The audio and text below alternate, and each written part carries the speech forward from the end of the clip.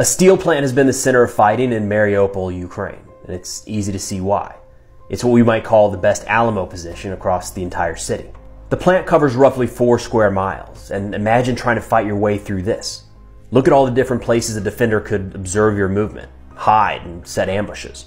But getting inside isn't that much better. Clearing multiple buildings like this can be incredibly costly to the attacker. And that's just the stuff above ground. Below the plant, there's an estimated 30 miles of tunnels that protect the defenders from airstrikes and artillery.